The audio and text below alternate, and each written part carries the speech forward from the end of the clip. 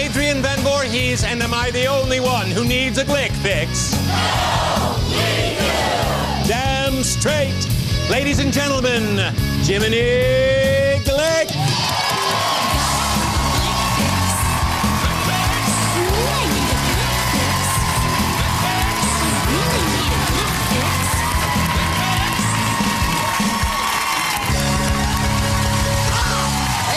You got it. Oh my goodness, one of these days.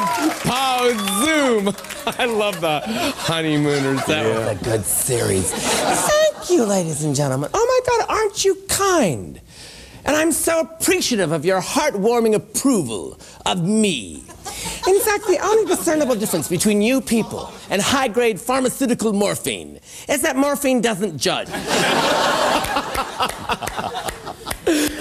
Adrian, you were addicted to morphine for many years, were you not? stop stop I'm sorry, I had to go for it. You speak of days gone by. Anyways, Adrian, have we started talking about your most recent troubles, boy? Ah, which troubles were those? Your recent separation from your child bride, Effie. Ah, well, actually, I hadn't planned on uh, making any public pronouncements. Oh, you've got to, boy. You've got to. It's all tabloids. All of her dropping you like a hot potato and doing the town with that wafer thin Lothario of Billy Bob Thornton. I've heard the stories, but I don't give too much credence to the rumor mill. Oh, it's not a rumor, dear. Trust me. Trust me. I had Effie and Billy Bob over for dinner the other night. they were like a couple of golden retrievers and he. Dixie had to get bottles of cold water and douse them at one point just to get them unstuck. Thank you for the update. Are you gonna be okay, old chum? I'm scared. Well, actually, I I was a bit disappointed that Effie Lieu and myself didn't make it. Well, you know what they say about Adrian and his marriages. He's made more trips to the altar. Hold the card a little higher, dear. Thank you. He's made more trips to the altar than Harry Truman made whistle stops.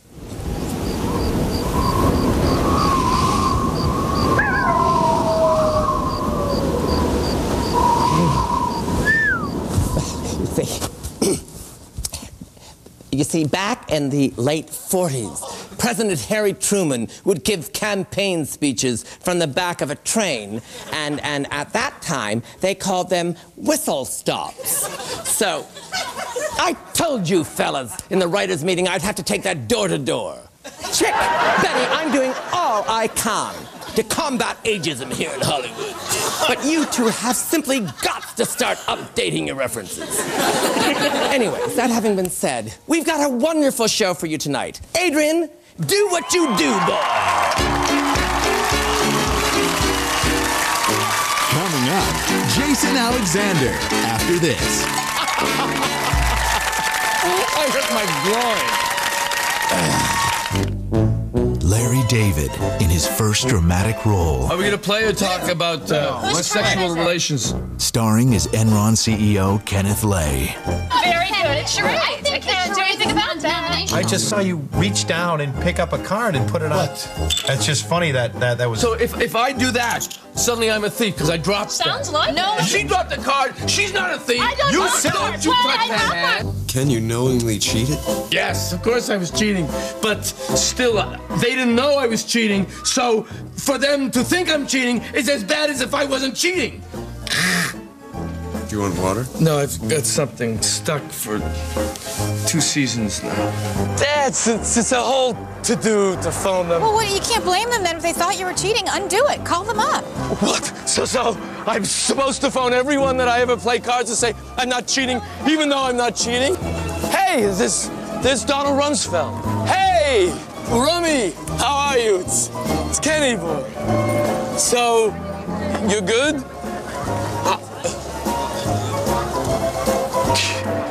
So can you believe that guy? He just brushed me off after all the money I raised for him. He, he wants to. Tell George W. that I have a great cure for hangover that I found.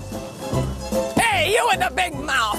Barbara Bush, You huh? four-eyed freak of f***ing nature! You can't go around screaming about hangover cures. George W. hasn't had a drink for 15 years. No, no, I was, I was talking about your granddaughter, because Well, that's none of your f***ing business. this, you idiot! Just leave us oh, alone, will you? Oh, Shut your f***ing mouth! Oh, Larry David as Kenneth Lay in Curb Your Capitalism. It's not TV, it's prime time Glick.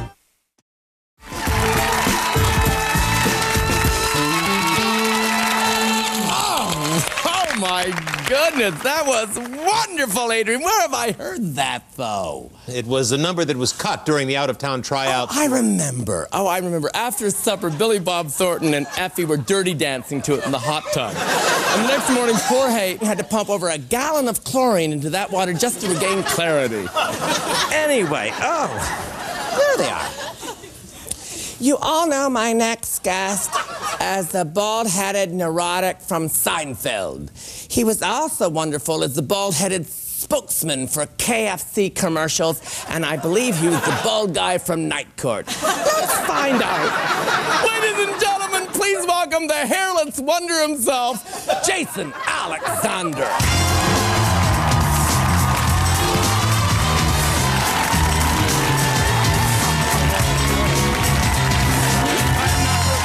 I can't get up. Not seemly. That's, oh, God.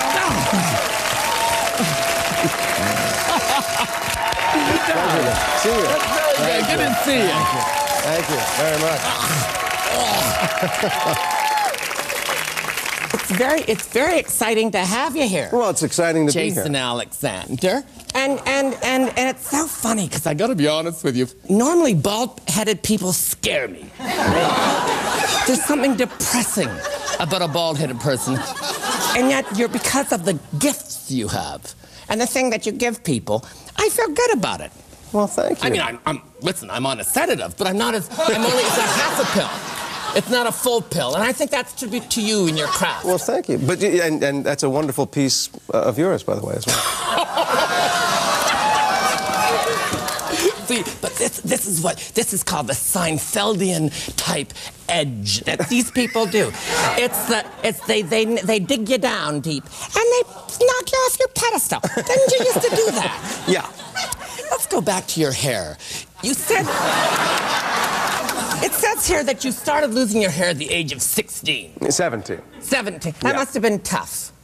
Yeah, it was a little rough. I had, I had just got, I had braces for nine years. And yet you uh, had chest hair at the age of four. Does Yes. It's the follicles that have just gone. Apparently, there's too much testosterone. It leads to uh, excessive body hair, uh, over-enlarged genitals. And back hair, I suppose you have a tremendous amount of back hair. Uh, it's under control, but it's there. It- yeah. Do you think that waxing is an answer? Because I once asked George Clooney this, and he looked at me so strangely, and I realized I was talking to his aunt Rosemary Clooney. Although she freely, she freely talked about it. Well, you know, I know, I, I actually know some interesting things about you, as- because you know, I, want, I like to prepare. But the thing that fascinated me the most, because we both have shared a weight issue in our life, I didn't know that you were a practicing nudist.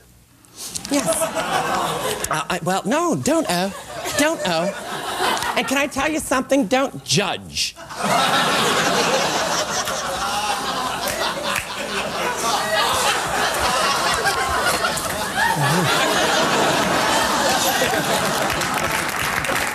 We're gonna- Sugar. Would you like a hanker? Here, b- borrow mine. Oh, thank you very much. No, fine. Oh, Kahlua and milk. no, I'll tell you. I learned very at a very early age Oh, that at a very early age to clean your face like a cat might look strange, but it's the only way to get all the crumbs off. Uh-huh. I mean, why should we look at these animals? And I, for example, my dog cleans himself in a way that I had never tried until a couple of days ago. what were we talking? Oh, Well, you're a very nimble guy, so I can see. I really Yeah, am. That's a, You share a birthday with Mickey Rooney. I didn't know that. He did that wonderful movie Bill. Oh, about the retarded. Uh, That you are a natural at this. You should be doing some legitimate theater or film, my friend. boy, I love it, boy. you gotta wrap it up. You gotta wrap it up. He's not playing like I'd hoped. You know, Leo DiCaprio played a retarded person in his first outing. Big career now. You should look for. Uh, I think basically retarded roles would be. Oh, isn't that kind of you. You did Cinderella. I with did. Whitney Houston. Yes, I did. Was Bobby Brown there? Uh, yeah. Uh, Bobby did come by. Was he high on something? I'm sure he was actually. Yes. Uh, yeah. Oh, that's wonderful. This is this is this is this is a fun interview. I want to talk about Shallow Howling, whether you think that J Lo and Ben are gonna make it. Oh, I have never I seen don't have any more time. Oh, okay. Well, then because I got other people, and this was supposed to go much shorter. But I like you. It feels like it went shorter. it feels like it went shorter. What does he mean? What's he talking about? Off the wall. And it's Seinfeld all over again because they take the smallest thing like, ooh, a gumdrop, and then the guitar comes in. It was wonderful. And you, as. George Costanza, Yes. an Emmy Award winning No, I didn't win. nomination. Yes, no. Uh, Golden Globe. Yeah, I didn't win that either. Uh, uh, uh, t- uh, the, uh, the Tony Award for George No, that was for, not for, for, theater. Well, no. let's say people had liked your work. Then I'd say, here's to you, Jason Alexander.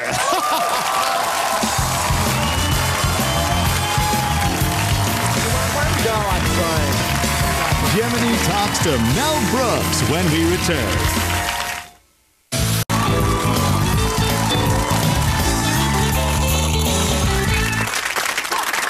Wife Dixie and I have discovered a new way to keep the old love machine a cranking. It's called rock climbing, and it's a brand new craze out in the coast.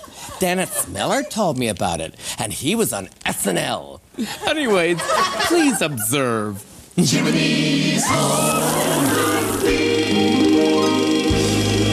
not gonna climb. You're I've all had done? enough. I'm done. Put a fork in me. I'm done. Okay, you want? do you still want to climb, I do Jiminy? want to climb. Okay, well, why don't I go up with you?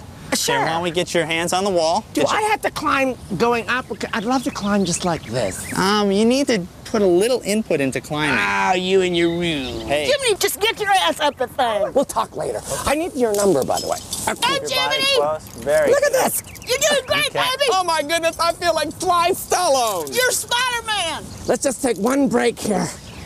You getting tired? Oh no, I'm just getting a little hungry. Are you eating? And now, some rope got caught in my nose. A pickle just fell down. I'm frightened. Don't be frightened. I'm right here with you, Jiminy. I'm suddenly very frightened. Jiminy, hold on. Hello? Jiminy, hi, this is Steven Spielberg. I'll phone you back, thanks. Help me! I'm having an anxiety attack and it can't be good. Hold on, Jiminy. Come on, I'm with you. Oh. Oh.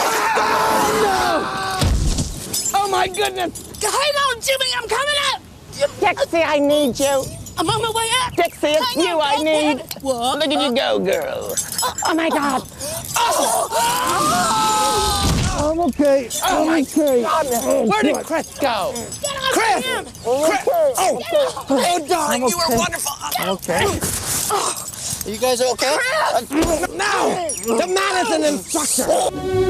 Now we go out and about with Jiminy Glick. Because I'm sitting here with an absolute living legend and a man who means so much laughter and so much joy to so many people. Albert Brooks, say hello to Albert. How are you? It's actually Smell, but uh, It's Mel Brooks. Yeah, Albert. oh Albert my is- God. Well, Yeah, these he's- notes are worthless. I don't know what to ask you now. yeah, Albert's the other guy. And you're Mel Brooks. Mel, yes, right. Mel Brooks. Shorter, older. You were born in Brooklyn. Yeah, I was born in Brooklyn. So you lived in poverty? Uh, my mother uh, used to uh, cash in milk bottles to help me go to the movies. Yeah. That's good old fashioned poverty. Those are the kind of people that I don't tend to want to even mingle with Yeah. because I'm afraid I, I, they're not bathing as much as you'd like. Did you bathe? Yeah, well, we did in the kitchen sink. We had a we had a little kind of uh, kitchen sink tub. You're often included on the list of all time great comedians. How did that happen? and what have you done? What you, Are, are you saying that you, for one, don't agree with that? Oh, or no, no, no, I mean, no. What, what are you, what are you think- saying? I mean, No, you're I putting it in a way so that Oh, all no. those people who thought I was funny are are silly and wrong, and and you've got you've got a better take on. No, no, whether- that's. Do you know what that's called? That's called paranoia. And it's coming, and you know what it's caused from? It's being not that clean and poor as a child. You were a jazz drummer. Yes. I had once an infection in my outer colon, and my doctor gave me a few rim shots, and it absolutely helped me. And I think, and I think that it can help you too because rim shots. Rim shots. In your outer colon. Outer colon. He And gave me a that- few rim shots, and it helped. It was an infection. It was an infection. That's what it was. That's what it was. Now let's give me a minute. Where? okay. All right. I'm fine now. You were a stand-up comedian. I was a stand-up comedian. Yes. That's a Catskills. Yes. What's the Catskills? It's Catskills are a series of mountains in just outside of New York City. What would people do in the Catskills? Well, they would eat a lot of out of uh, sour cream, chopped vegetables, and sour cream, and usually uh, they would they would die. They would just they would just go up to die there. No, they wouldn't die from it Oh, I see. because they would sing "Dancing in the Dark." That was their favorite song, and they would sing it in the wrong key. They would ah. they would start much too high. They'd be rocking on the porch as Jews are, are wont to do. I know. I want. That's my And next question.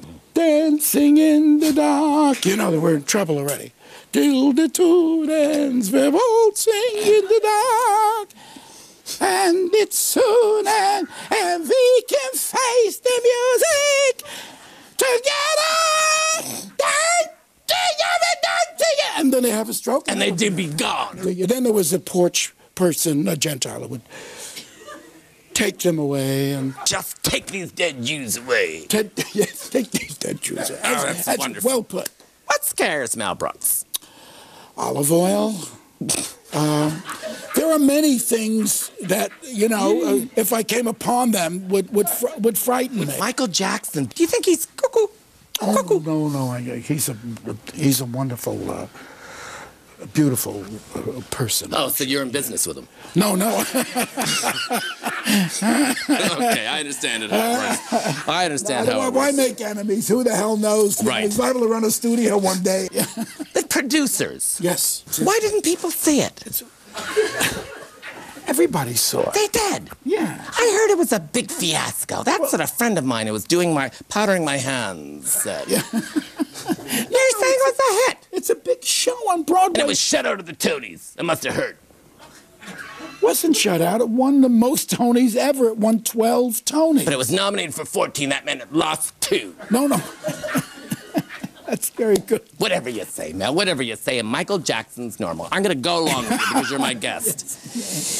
Has show business, is it still not ready to accept someone who is Jewish?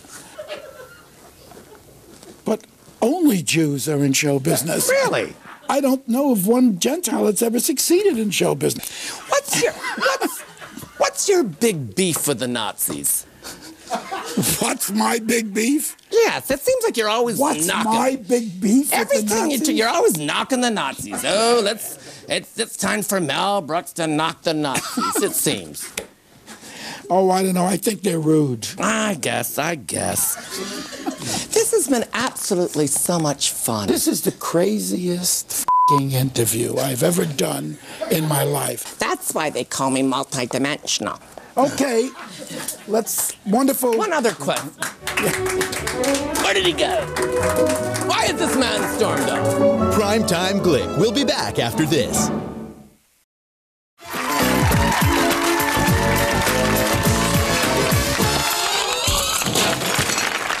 How's that feeling? it's just bubbles make me laugh. It's a, it's a little bit warm in here. Oh, it is warm. I just assumed I was having a hot flash. I am having the worst menopause. You think we could turn it down? Uh, Oh, that's a good idea. Oh, and look at that, what I've done now. Okay. Oh! oh. What? Look at this, did you do? broke. Well, for God's sake, Wing the custodian was supposed to have tightened that and he's done, he's done just the opposite. Damn those communists. They get over here and they think they rule the world. What? The door won't open. Help! Oh, this is great. This is just great. Help us, we're going to die! You know, this entire interview has been a disaster. And the worst part is, I knew it going in. Oh, and as if you were mercy booking! Well, thanks to you, we're going to end up poached like a couple of sockeye salmon. I don't like sockeye salmon poached. There's something insipid about it. Oh, no, no, no. You have to season.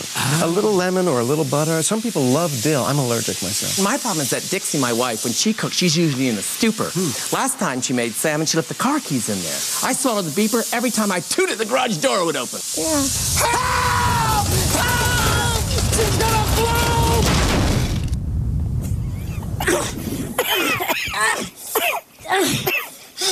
Well, nice work, Glick. You think with all this shrinkage, there still wouldn't be a cellulite issue? Don't talk to me about shrinkage. It wasn't exactly Long John Silver to begin with.